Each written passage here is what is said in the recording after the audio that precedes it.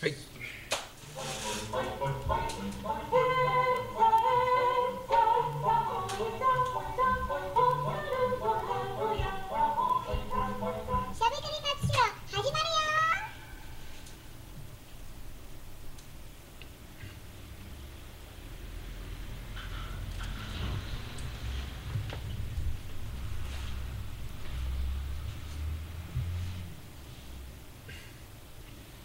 はい、皆さんこんばんは。えー5月29日月曜日、えー第344回しゃべくり真っ白の時間がやってまいりました。えー今日の真っ白はですね、えー朝からですね、結構あったかくてね、えー日中なんかは約30度超えたかなというふうに思います。え現在もですね、あの街歩きセンターのもエアコンをちょっと入れてね、ちょっと暑いような感じなんですが、えまあ、ちょっと軽い、え服装でちょっと今日はあ放送しております。よろしくお願いします。で今日のゲストをご紹介いたしますけれども、えー真っ白町魚町にねかごカフェこのうんこの花咲夜をお新規開業されたオーナーのね大宮宮江さんですよろしくお願いしますよろしくお願いします。えー大宮さんですね、えー初めてこのお店の場所とですねで営業内容みたいなのをちょっと説明していただけるとありがたいですけどねはいここですねえー、と現在ですね、えー、と街歩きセンター、今、ここで、えースタジオはこちらにありますね、えーこちらにあまありまして、まあ、現場は現場っていうかね、お店がこちらにあります。はい、で、今、ここからですね、えー一番簡単な方法ですと、えー東の方へ行っていただいて、この宮お諏訪さんですね、宮前通りをずっと行っていただくとですね、突き当たるんですね。突き当たるとね、右側に、えー西念寺さんってお寺さんあります。それをまた奥に入っていきますと、培養院入り口のですね、ちょうどこの角に、えーお店ができました。はい。で、その隣ですね、隣がですね、ちょっと有名な成田屋さん、はい、お醤油豆ですとかね、えお味噌ですとか、そういうのをやってましてね、ちょっと隠れたあのお店なんですけどもね、えその近くに開業したという形です。えーこれでですね、えーまあ、今までですね、お宮さん、今までどんな仕事をされていたのか、ちょっと軽くお話しいただいていいですか？はい。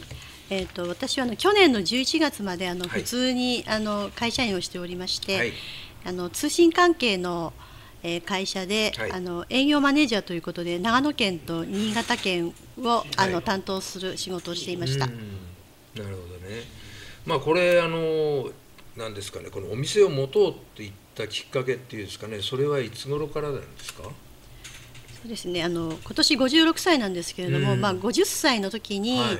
あのこのままあの、まあ、ずっと勤めている会社で定年を迎えるのか、うん。まあ、それともあの早期退職をしてはい。また第二のやりたいことを始めるのかどうしようかなっていう時に、あの考えた時に、はい私の中ではもうあの会社に定年までいるっていううん。ことはもう全くゼロで、うんあの新しいことに向けて、はいあのやろうというふうに50歳の時に決意をして。まあ、55歳までに準備をして、はいええあの56になる前に、はいあのもうカフェをオープンしようというふうに決めていましたあなるほどね。あのあれですかね、これカフェをやったりとか、いろいろ展示物をね、あの売ったりとかってね、いろいろ勉強はされたと思うんですけども。そうですねどんなあれですかね。まあこれ見るとあのフードコーディネーター、それから工芸作家なんていうのでも。あと食材もなんかお話聞いたら自家製のものをやるんだとかっておっしゃってたんですけどそんな感じのこのどういう形で勉強されて竹きたのか。竹細工の方はもう20年前からやっていて。で私のやってる竹細工っていうのは、あのはい。えっ、とですねあの山之内町のね？そうですね。これが、あの、うん。まあ菅川のちょっとあの私のものとは若干ちょっと編み方が違うんですけれども、うんうんあの根曲がり竹を使っあたあのそばざるですね。うん。で最初あの竹細工の方から入ってはい。それからあの塔のこれ方これは塔なんですけれどもうん。で塔のカゴをうん。編みでその後ですねやっぱりちょっと天然のものがすちょっといいなということで、うん。今はあのこのあけびのカゴの方も制作しています。で竹と塔とあけびですね、はい。それぞれあの材料の良さもえ違いますし、ええまああの編み方もちょっと若干違うんですけれどもあ、のそれぞれの特徴を生かしたものをうん。編みたいなと思って、あの3つの素材で今作っています。なる。ほど。ねこれもあれですかねこのあけびのつる団っていうのも結構あれですか自分であの探し行ったりするんですか？それとも買ったりとかするですか？どういう？とあけびは、うんあのま、主人も一緒に取ってくれるんですけれども、うん。あのいつも取る場所は決まっていてあそうですか。あの翌年あけびがちゃんと育つことのできるように、うん。まあ、根元とかの近くを取らないとか、うん。いろいろ規制を自分でかけてあのたくさん取らないように作る分だけ取るようにしています。あなるほどなるほど。ねこれだけどだ持ってきたらあとはどうするんですか？乾燥させたりとかする。こうあの葉っぱとかあとちょっとトゲもあるので、ええ。全部あのきれいにしてその後太さ別に分けてそれで巻いて保存しておきます、うん。で編む前に、うん。あの2日ぐらいちょっとお湯につけて柔らかくしてからあ編みます。お湯につけてね。準備はちょっと結構かかりますあねで竹はあの、根曲がりの竹を取ってきてから、はい。あの 裂いてはいそれからあのひごにしてから使います、うーんなるほどね。これあれですかそのまあねしょっちゅうこれやるんだけど一個一つ作るにどのぐらい時間かかるんですか？そうですね。作品にもよるんですけど、うん。割と私は手が遅い方なので、ええ。まあカゴバッグだとやっぱり1ヶ月近くかかってしまいます、今だけどカフェみたいなのやったりやってるじゃないですか、はい。いつやるですか作るのは？あの朝のすごいテラス席ですごい気持ちいいので、うん。あの朝開店前に1時間ぐらい編んであまた終わった後にまた1時間編むっていう。あそう。1日2時間は編むようにしています。編むようにしてる。はい。なるほどね。それは素晴らしいな。まあこれあの逆に松代この歴史文化を生かしたっていうかそういった地域にこれカフェを作るっていうのね。これはどういうきっかけですか？どういう思いでこう作るようになったんですか？そうですね。あの、松代は、うん。あの私コーヒー好きなんですけれども、はい。あの松代のえっと水上山の湧き水を、うん。あの取りに来てそれでコーヒーを入れたりとか、はい。あとお酒あのお酒のつまみ作ったりとかするのにも、はいはいあの必ず湧き水で湯がいたりとかしてたんですけれども、あの競りが川にあったりとか、はいはい。クレソンが生えていたりとか、うん。そういうちょっと松代のそういう自然の食材を、うん。あのいただいたりもしていたのですごく私にとってはちょっと松代はすごく身近なところで、うん。まあ、家が真島なのですごく近いところもありますし、うん。あねあと城下町のすごくこのいい雰囲気の中で、はい。あのカゴを作るっていうのはすごくいい作品ができるんじゃないかなと思って、うん。それで松代にカフェをというふうに決めました。なるほどね。まああれですかねもう当初そこかに今の場所ですね。はい。ポンってすぐに決まったわけですか、えっと、その前にあの、はいちょっと豊坂の方で、うん。あのいい物件があって、はい。そこでやる予定だったんですけれども、ええ。ちょっとあのあの大家さんの都合で、はい。全部お借りすることができなあくなってしまって、あそこはボツになっちゃった、はい、それでちょっっと途方に暮れなてうん。町屋センターの方にちょっとお願いしそうにですね。こちらにも。来ていただいて「ありませんか?」って急に言われてね。すぐもうあの開店したいんですけれどっておっしゃって、ね、まあ、たまたまこういうあの売りに出てたっていうかそうね。そういったところで、はい。私も見に行ったけど本当にボロボロって言えばおかしいですけど よく買ったなと思ってたら後ろこれね綺麗にちゃんとできてて行ってたまげました。はい。だ場所的には本当にまああの成田屋さんもあったりとちょっと脇道へ入っそれたところでね、はい。ちょっと隠れ家的なあれでっていうのででもあの結構綺麗なものに出来上がってましてね、まあ、これ、えーこのいった形で、まあ、新聞にも出まして、はい、新新たにできるっていう形になりました、まあ、この中ちょっとこの間行って見せていただいたんですけども、まあ、こういった形でですねちょっと小さくていけないんですけどあのまあ、両側にですねうちが全然なくて、はい、で1軒だけポッと出てるっていう形ですね。で後ろ側から通すとこういう形で、まあ、上、えー、と下と同じ広さですね。どのくらいの大きさになります？で24畳です。24畳でね。はい、でまあこちらもちょっと珍しいのでここもちょっと写真撮ってきました。これはどういうあれでしたですか？があのテラス席になっていて、ええ。あの私すごい犬好きなんですけれども、うん。あの犬の散歩の方がそこでワンちゃんと一緒にこう水分補給したりとか、うん。あと夏はね。そうですね。あとビアガーデンをやったたしりとか。りとかっていうのでね、はい。なるほどね。でもこれ探すのにどのくらいかかったんです？いやあのその物件が、ううんん、と使え最初の豊坂のところが、うん。あのダメになってその3日後にはもうあの売り売りに出ているところにあのほ不動産会社さんに電話をしてあまあ、すぐ決めました。あそうですか。これ中見ていただくとこれ、えー、と中の改装したところですね。これ全部きれいに飾られたりとかってしてますけども、えー、とここの場所っていうのもワンフロアでしたね行ってみたらね、はこれあの大きなあのテーブルになってますけど全部で何席あるんですか、えっとカウンターが、うん。えっと8席です。でうん。テーブル席が1個しかないので,、うん、でえっとテーブルが4人なんで、えっと12席ですね。12席ね。はい。これでもやっぱりあれですね対面でお話できるようなはい、形なんですね、そうですね。一人であの、カフェは切り盛りする予定でいたので、はい。あのカウンターのお客さんの顔を見ながら料理をでできるっていう。はいお出ししようなかなと思っなてるほどね。対面にしました。はい、あとこれがですねちょっと面白いのでこういったカゴを置いてみたり先ほどのねカゴ、はい。まあ、こういったカゴも。であとこれがまたちょっと面白いじゃないですか。これちょっとはい。説明していただいていい、これはあのうちのラランチで出しているこの花御膳の,、はい。あの前菜なんですけれども、えええっと、毎日あの食材は変わるんですけども、うん。9種類のうん。前菜を提供しています。なるほどね。で中身はあの今の時期ですと、はい。こごみやわらびうん。あと家の庭であの行者ニンニク作ってるので、うん。まあ、山菜とあと畑をしていますので、うん。畑で採れる野菜を、あのメインに前菜作っています、うん。地産地消そうですね。はい。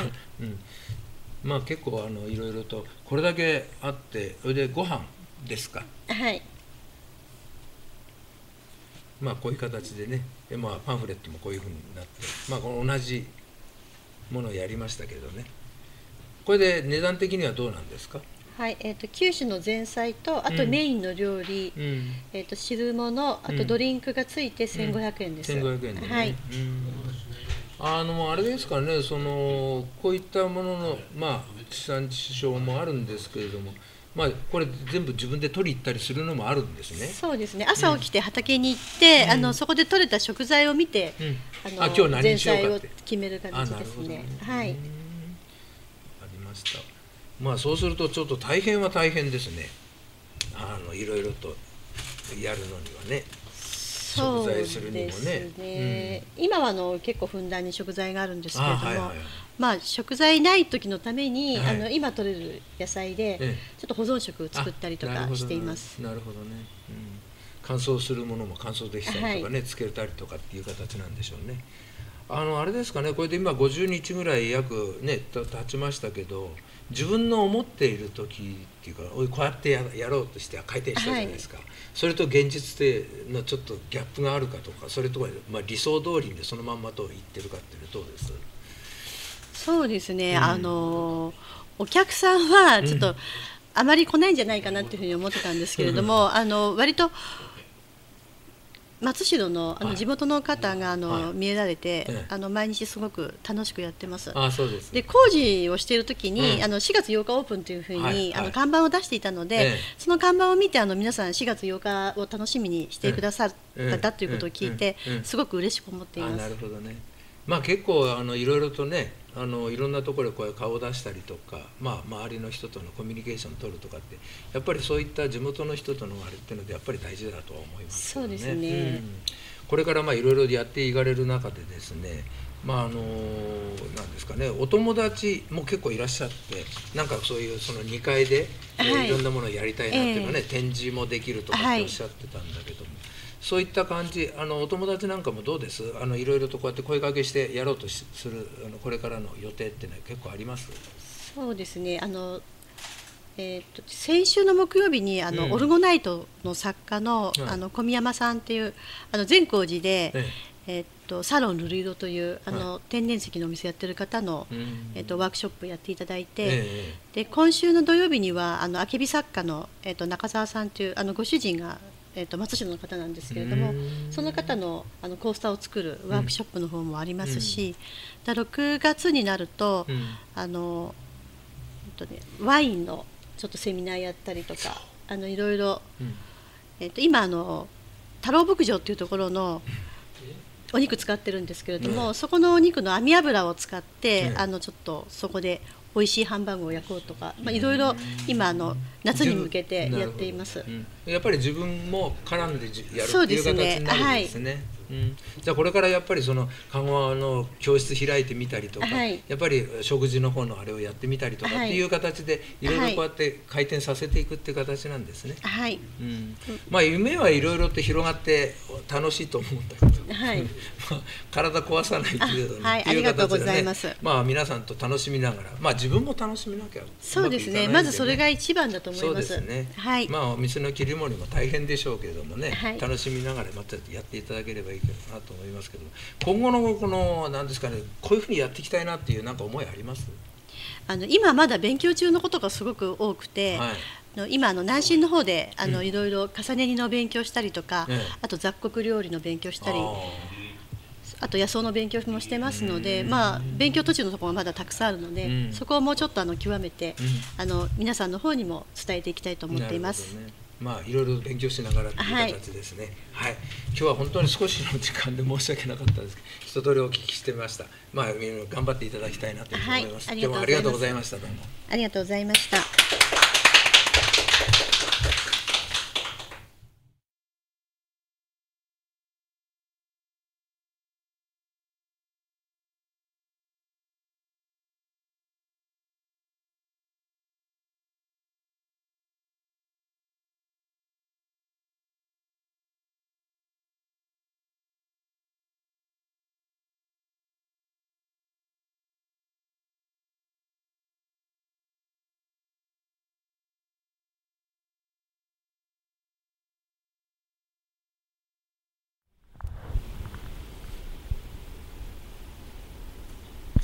いや三田さん、はい。素晴らしい。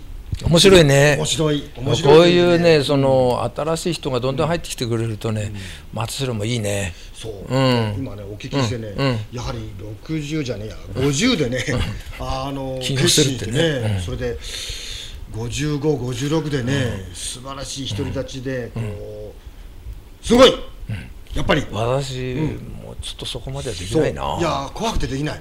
やはりね 通信会社のねマネージャーを振ってねこう独り立ちっていうのはやっぱりねそうそう。もう素晴らしい。素晴らしいね。うん。まあ。もう感激しちゃった、うん。まあちょっとね、飲みに行って、はい、そうね。お酒もやるっていうから多分ね。お酒もやるっていうからうん。宮坂さんどんどん行ってくださいね。はい、じゃあ来週ですね、お知らせはない。うん、あお知らせねちょっと時間がないんでちょっとあれですね。はい。来週はね、ちょっと面白いよ松代でね千本桜大作戦ってやるんですって。はい、はい。知ってる？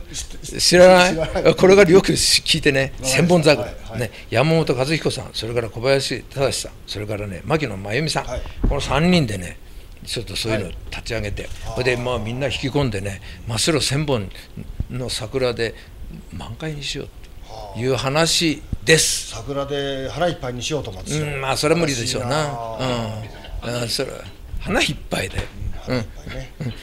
今俺腹腹いっぱいって聞こえちゃった。あいや。腹いっぱい。腹いっぱいはうんちょっとごめん酒ね。だなカフェで、そうそう。はい。花いっぱいね。そんなことでね、あ来週は宮坂さんがあね千本桜大作戦っていうのをちょっとね内容をちょっとねお聞きするっていうことで、はい。ちょっ。とね、当日までに勉強しておかなきゃいけないですね、そうですか。はい、はいわかりました。そんなことで、はい。それでは来週のしゃべくり松郎どうぞお楽しみに楽しみに。